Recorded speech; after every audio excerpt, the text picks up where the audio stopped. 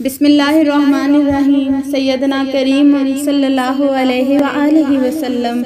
रसूल अल्लाह सल्लल्लाहु अलैहि वआलिहि वसल्लम ने फरमाया, अल्लाह ताला ने फरमाया कि इब्ने आदम मुझे तकलीफ़ पहुंचाता है, ज़माने को गाली देता है, हालाँकि ज़माना तो मैं ही हूँ।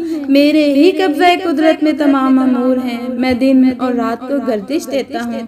इस हदीस मुबारक से हमें मालूम होता है कि अक्सर हम बोलने में बहुत सारी गलतियाँ कर जाते हैं। हम यही कहते हैं कि ज़माना इस तरह का आ गया है। ज़माना इस तरह का आ गया है। ज़माने में ये है, ज़माने में वो है। हर बात का इल्ज़ाम, हर बात को हम कसूरवार ज़माने का ठहरा देते हैं। इस हदीस मुबारक से हमें ये मालूम होता है कि ज़माने को बुरा भला नहीं कहना चाहिए, क्योंकि अल्लाह ने खुद फरमा दिया है कि जब कोई ज़माने को बुरा भला कहता है, दरअसल वह ज़माने को बुरा भला नहीं कहता, बल्कि अल्लाह ने खुद फरमाया है कि इब्ने आदम, यानी इंसान, मुझे तकलीफ़ पहुँचाता है। अल्लाह ताला अपने प्यारे महबूब सल्लल्लाहु अलैहि वसल्लम के सदक़े में हमें अल्लाह ताला और अल्लाह के प्यारे रसूल सल्लल्लाहु अलैहि वसल्लम की फर्मा बरदारी और अदब करने की तोफ़ी अता फरमाए, क्योंकि हम बारहा अहादीस मुबारक में पढ़ चुके हैं। और एक और जगह हमारे प्यारे नबी सल्लल्लाहु अलैहि वसल्लम ने फरमाया तुम सच्चाई को लाजम पकड़ो और हमेशा सच बोलो,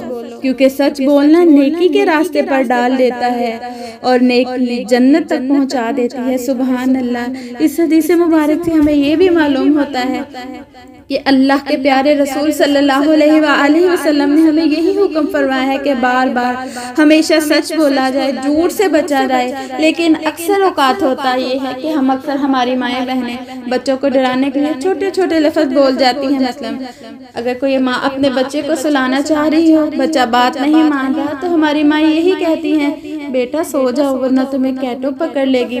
बेटा ये कर लो वरना जिन्ना आ जाएगा। और इस तरह लेकिन अगर ये भी छोटी छोटी बात में झूठ हम बोल जाते हैं और हम सब कोशिश करें कि अल्लाह ताला हमें सच बोलने की तोफीक अता फरमाए नेकी के रास्ते पर चलने की तोफीक अता फरमाए क्योंकि नेकी तक हम तब ही पहुँच सकते हैं कि जब हम अल्लाह और उसके प्यारे रसूल सल्लल्लाहु अलैहि वसल्लम के अहकाम को मानेंगे फर्मा बरदारी करेंगे और अल्लाह ताला से हमारी यही दुआ है कि अल्लाह ताला आपको भी और मुझे भी सबको अमल की तोफ़ी अता फरमाए। आमीन। बेजा नबी अमीन सल्लल्लाहु अलैहि वसल्लम। वमा अलैना इल्लल बलागुल